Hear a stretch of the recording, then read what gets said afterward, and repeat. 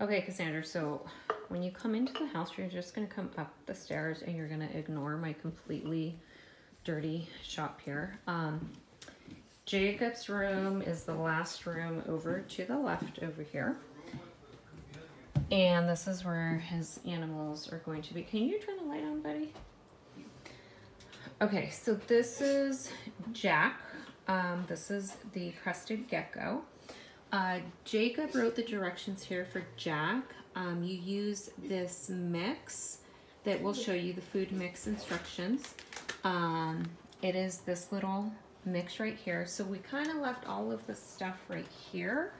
Um, there's water in the spray bottle. This is where the food is going to be. Um, are we feed, we're feeding him tonight, right? Um, Are you sure. feeding him tonight? Okay, we're we're gonna make a separate video of just how to make the food, but just want to show you where it's at. Um, this is Jack right here. You don't have to worry about his light or anything being on. If you see that it's not on, that's totally fine. Um, he is under. He's chilling right there. Um, okay. You can just put the food in a bottle cap and put it on the log, on top of the log where he's sitting, or on the floor. Yes. Okay, so that's the bottle cap right there. You can get it and rinse it out. And then, like he said, you can put it on the floor right there or just put it like up on the log for him to eat. And then that's his water. He gets a lot of dirt in there. It's okay. Um, just rinse that out and fill with water. You can also spray both of the sides with water, but like not too much. Yes. And then spray the glass, right? Yeah. Okay, so then you can spray, like use the, the thing to spray it down. Here, his cage, you just um push it, you kind of got to use both hands. So you push that down and you prop it open just like that. Um, he's the one that jumps. He normally does not jump when you open, but just be mindful, he's a jumper.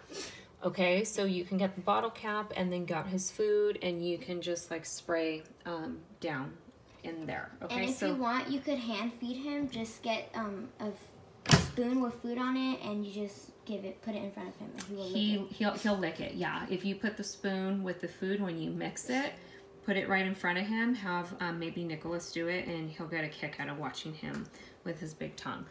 Okay, here is our little high maintenance one right here. So this is Juju. Jacob kind of put the instructions down for him, okay? He's our chameleon. He is, he normally will be chilling. He's right there. He'll normally either be there or he likes to hide over on the side right here. So just check on him, make sure he's good.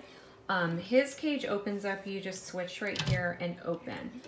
We do have two lights here. There's a UV light and there's a heat lamp for him. Those should be on all the time. Um, the little switches are here, but we're leaving them on. We did wind up getting a dripper.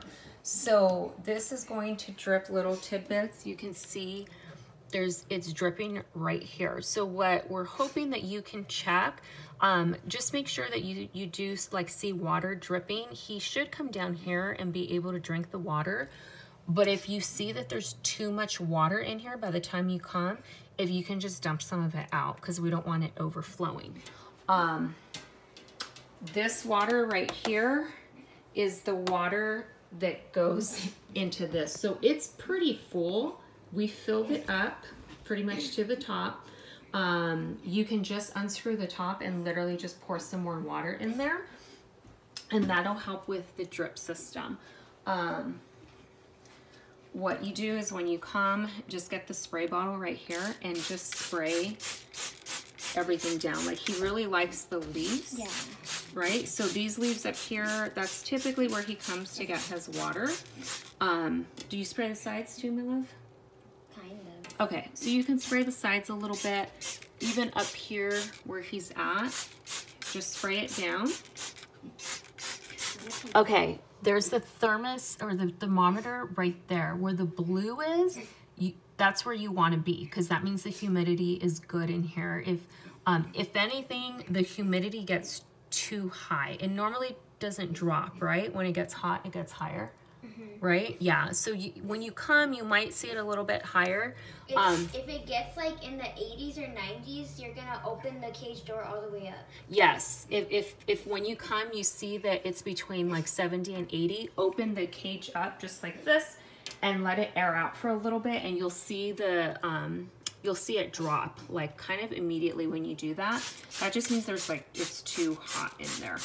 Okay, so there's that. Um, now we bought the box of crickets for him.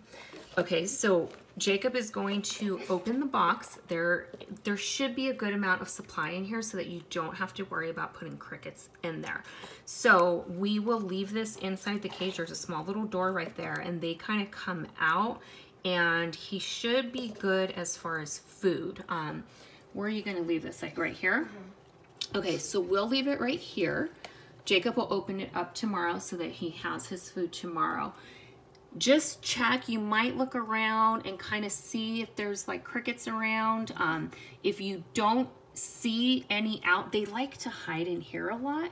Just see, as long as you see one or two crickets, like it should be good. Or what you can do is like pick it up and maybe like shake some out a little bit and then they'll come out in the cage. Um, Jacob, this is the other one where we do the, the bag of crickets.